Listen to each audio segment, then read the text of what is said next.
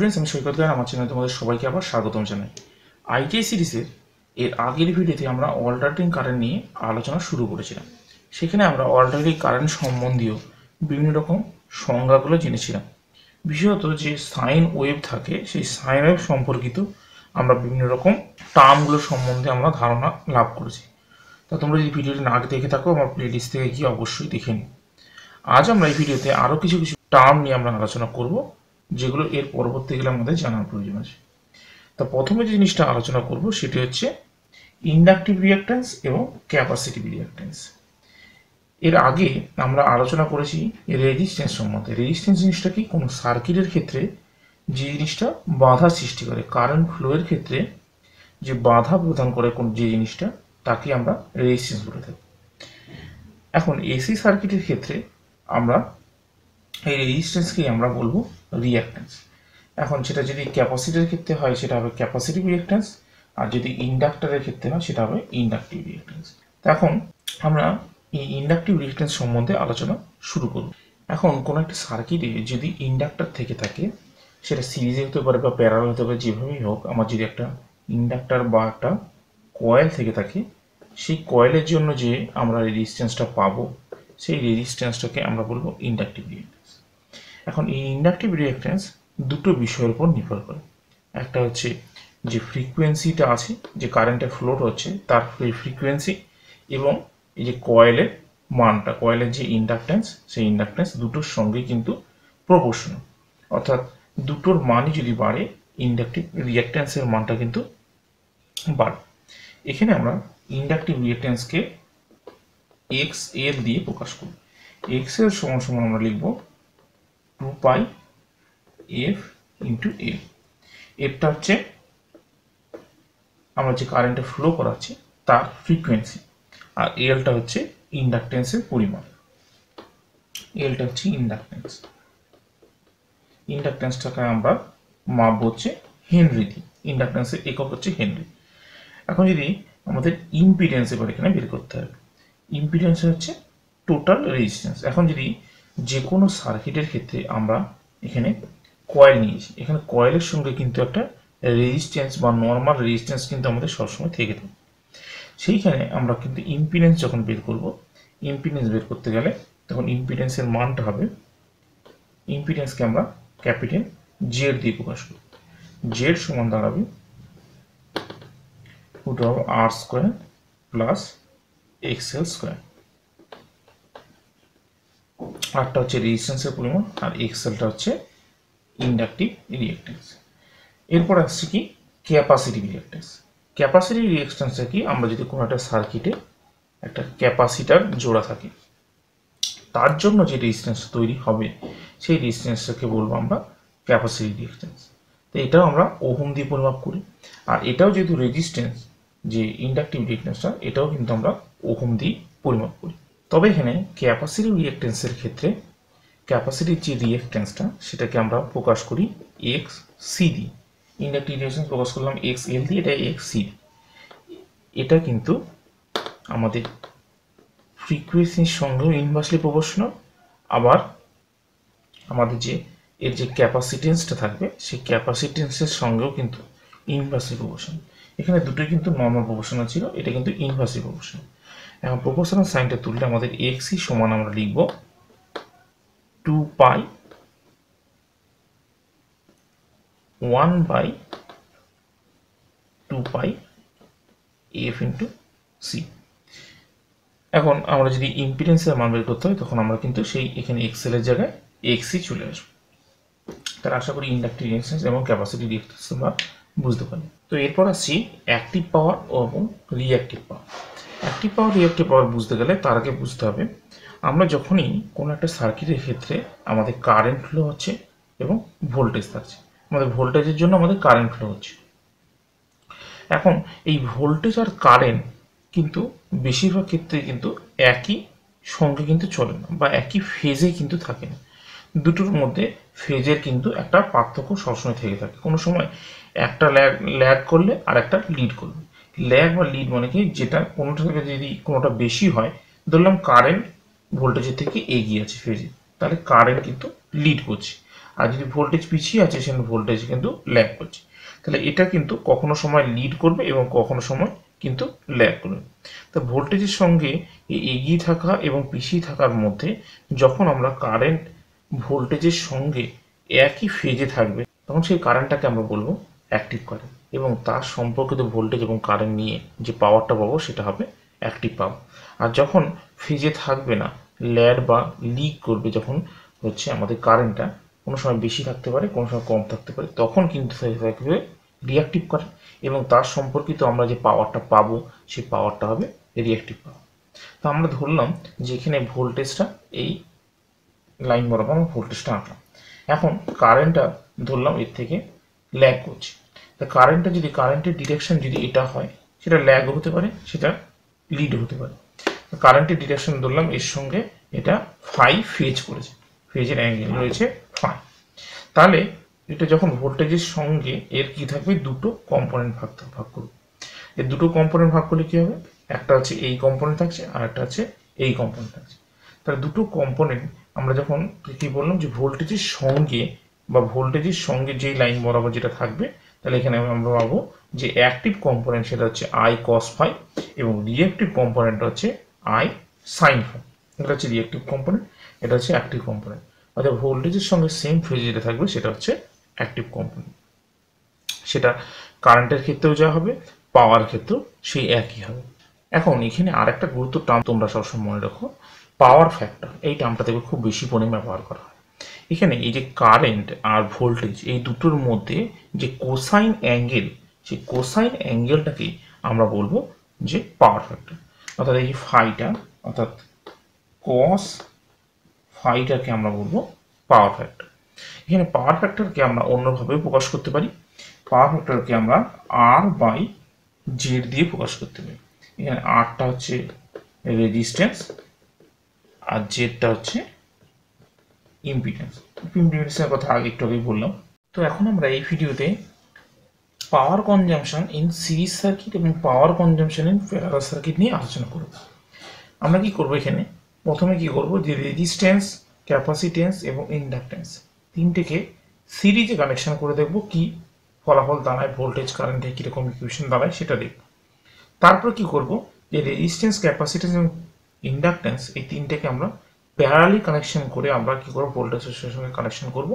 এবং দেখব সেটা কি ফলাফল দাঁড়াচ্ছে। তো এখন দেখো, প্রথমে আমরা কি করেছি? যেখানে একটা রেজিস্ট্যান্স আর এখানে একটা কয়েল নিয়েছি, অর্থাৎ ইন্ডাকটেন্স দুটোকে আমরা কি করছি? সিরিজে কানেকশন করে একটা ভোল্টেজ সোর্সের সঙ্গে আমরা কানেকশন করে দেবো এসি সোর্সের সঙ্গে। তারপরে কি করব? এখানে সিরিজ আর এল তো এরপরে কি আসছে? আর সি অর্থাৎ সিরিজ আরসি সার্কিট আর তারপরে আসছে সিরিজ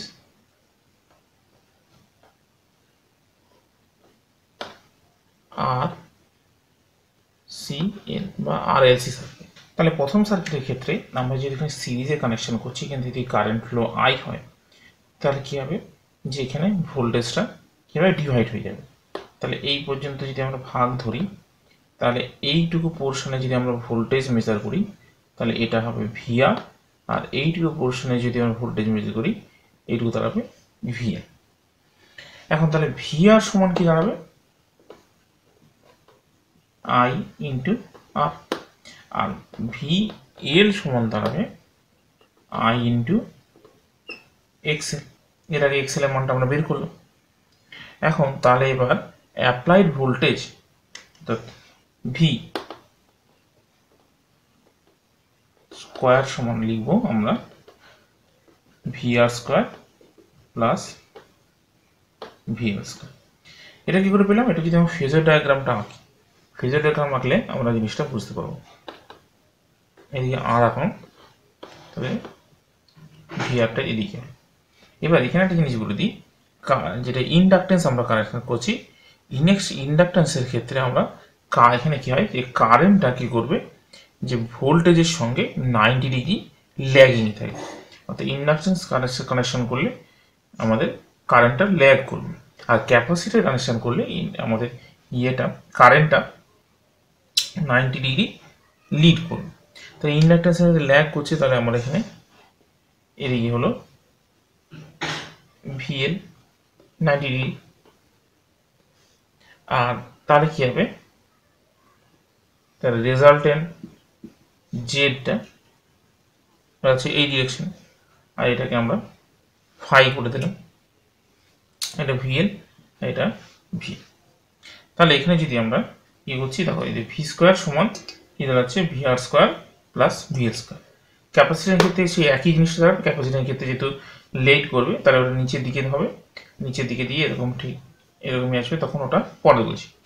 তাহলে ভি স্কোয়ার সমান দাঁড়াল আমাদের V R square plus VL square তাহলে যদি এখন এবার ভি আর মানটা বসাই তাহলে আই আর স্কোয়ার ভিএল এর মানটা হচ্ছে আই এক্সেল এর স্কোয়ার তাহলে দুটো থেকে যদি আই কমন নিই, তাহলে থাকছে আই স্কোয়ার এই থাকছে আর স্কোয়ার প্লাস তাহলে V square by I square সমান দাঁড়াচ্ছে R square plus XL square বা ভি বাই আই সমান root R square plus X square V by আইটাকে আমরা জেড লিখতে পারব জেড এর মান হচ্ছে root half R square plus X square তাহলে রেজিস্টিভ সার্কিটের ক্ষেত্রে বা রেজিস আর এল সিরিজ সার্কিটের ক্ষেত্রে জেড এর মানটা আমরা পেলাম R square plus X square আর পাওয়ার ফ্যাক্টর যদি কস ফাই লিখি কস ফাইয়ের মান তো আর বাই তাহলে পাওয়ার কনজিউম যদি বের করতে হয় আরএল সার্কিটের ক্ষেত্রে P equals to VI cos phi তাহলে পাওয়ার কনজিউমের মানটা আমরা আরএল সিরিজ সার্কিটের ক্ষেত্রে পেলাম। তাহলে এবার আসছি আরসি সিরিজ সার্কিট এখন আরসি সিরিজ সার্কিটের ক্ষেত্রে আমরা এখানে একটা ভোল্টেজ অ্যাপ্লাই করছি এবং কারেন্টের দিকে ফ্লো হচ্ছে।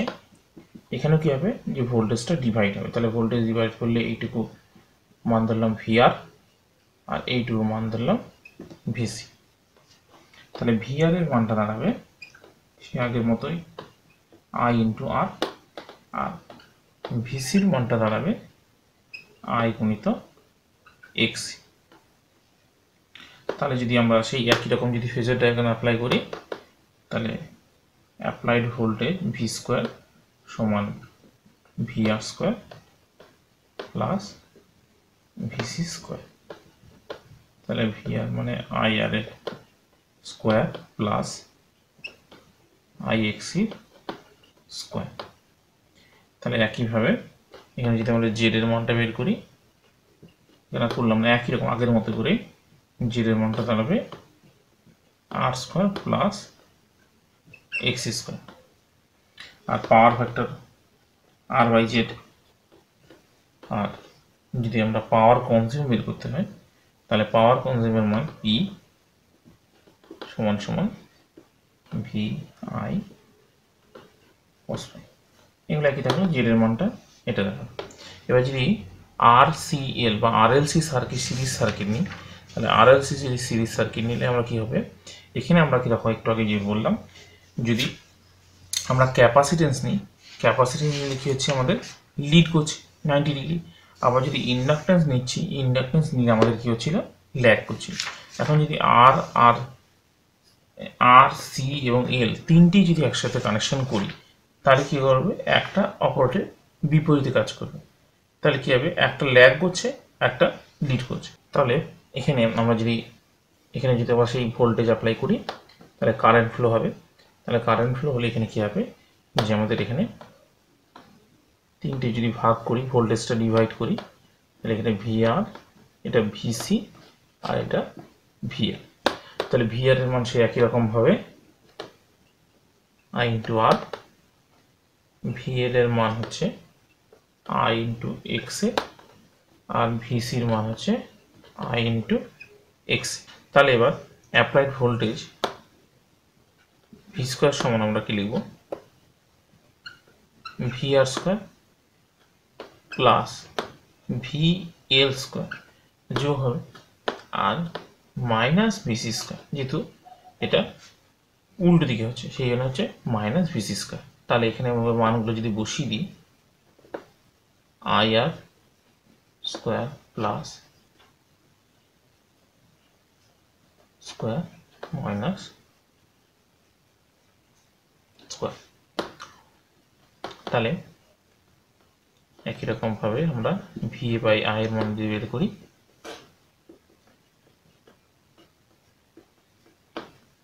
এক্সএল মাইনাস এক্সি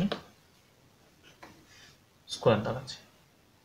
তাহলে জেড এর মানটা এটাই জেড এর মান। জেড এটা লিখতে পারব।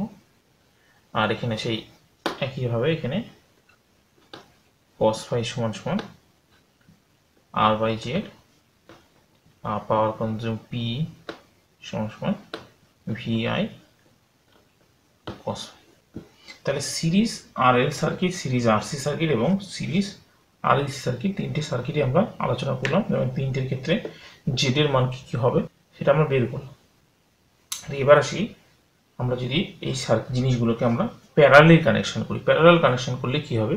সেটা এবার আলোচনা করব। তাহলে প্যারালাল কানেকশন করলে আমরা কি করব? প্রথমে কি করলাম? যে আর এল প্যারালাল সার্কিট তারপরে আর সি প্যারালাল সার্কিট আর তারপরে R L C parallel circuit ঠিক একই রকমভাবে যে সিরিজে কানেকশন করেছেন সেটা। প্রত্যেকের সঙ্গে আমরা কি করেছি?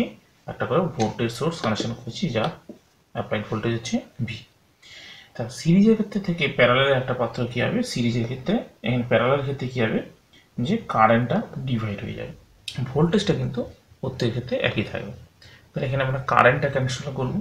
আমরা যদি রেজিস্ট্যান্সের দিকে যদি কারেন্ট ফ্লোটা আইআর ধরি, আর এখানের ক্ষেত্রে আমরা যদি কারেন্ট ফ্লোটা আই এল ধরি, তাহলে এখানে এটার ক্ষেত্রে আইআর এর মানটা কি হবে? ভি বাই আর আর আইএল এর মানটা কি হবে? ভি বাই এক্স তাহলে আমরা যদি কেসিএল অ্যাপ্লাই করি বা কিরচফস কারেন্ট ল যদি অ্যাপ্লাই করি, সে একই রকমভাবে total current I equals to IR plus I তাহলে আইআর প্লাস আইএল কি হবে? V by R plus V by X তাহলে দুটো থেকে যদি ভি কমন নিই থাকছে ওয়ান বাই আর এক্স তাহলে এইখানে আমরা যদি এই পুরোটাকে ওয়াই হিসেবে বলি ওয়াইটাকে আমরা ওয়াই যদি বলি আই সমান দাঁড়াবে ভি ইন্টু ওয়াই ওয়াইটা হচ্ছে অ্যাডমিটেন্স এই দুটো পুরোটাকে একসাথে আমরা অ্যাডমিটেন্স বলছি। এর ইউনিট আমরা মো হিসেবে বলতে পারি। এখন যদি ওয়াইয়ের মানটা ক্যালকুলেশন করি এখানে অ্যাডমিটেন্সটা, তাহলে ক্যালকুলেশন করলে কী হবে এখানে থাকছে। One by R plus one by G omega ওমেগাটা হচ্ছে আমাদের অ্যাঙ্গুলার ভেলোসিটি বা কৌণিক বেগ। এটাকে আমরা লিখতে পারব, যেটা যদি উপর নিয়ে যাই, তাহলে কী থাকবে? নিচে ওমেগা এখানে মাইনাস চলে আসবে।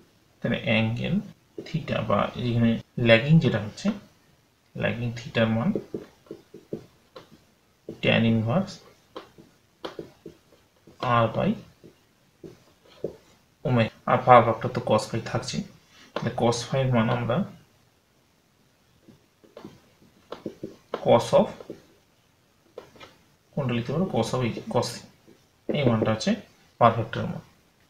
এবার আসছি সিমিলারলি আমরা আরসি সার্কিটের আরসি সার্কিটের ক্ষেত্রে আমরা কি করব? সেই একই। তাহলে এখানে একই রকমভাবে আই আর সমান দাঁড়াবে ভি বাই আর আর আই এল আই এল তো নয়, এখানে আইসি হবে। আইসি সমান আমার দাঁড়াবে V by X V by এক্সের মানটা আছে j omega V into C এবার যদি আবার এখানেও সে কেসিএল অ্যাপ্লাই করি, তাহলে আই সমান দাঁড়াবে আই আর প্লাস আইসি তাহলে আই আর এখানে যদি একবার অ্যাপ্লাই করি এখানে V by R plus j omega VC তাহলে দুটোতে যদি ভি কমন নিই দাঁড়াবে one by R plus j omega C এইটার জায়গায় আমরা কি লিখব? ওয়াই বা অ্যাডমিটেন্স তাহলে সেই I equals to V Y হলো।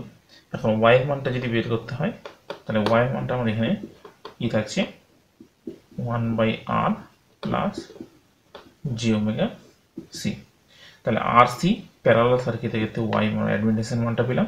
এরপরে আসি R L C parallel circuit তা আর এল সি প্যারালাল সার্কিটের ক্ষেত্রে সেই একই রকমভাবে আমরা কি করব? আই আর এর মান দাঁড়াবে V by R I L এর মান হচ্ছে ভি বাই এক্স আর আইসির মান হচ্ছে ভি বাই এক্স একবারে আইটা বের করছি। আই যদি একবারে বের করতে হয়, তাহলে আই সমান হচ্ছে I R plus I L IC KCL apply করলাম। তিনটের ক্ষেত্রে ভি আছে, তাহলে ভিটা কমন নিয়ে থাকছে one by R one by X L by one by X তাহলে ভি এইখানে আমরা এক্সেল এর মানটা এখানে কি বসেছিলাম এই যে জি বাই ওমেগা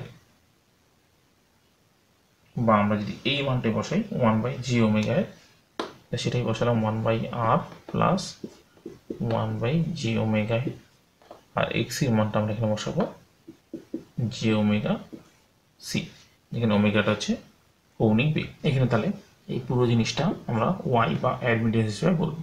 তাহলে ওয়াই সমান দাঁড়াচ্ছে plus one by G omega L plus G omega C তাহলে তিনটে সার্কিটের ক্ষেত্রে আমরা আই আই এর মানটা বের করলাম এবং সেখানে আমরা অ্যাডমিটেন্সগুলোর মানগুলো আমরা বের করলাম।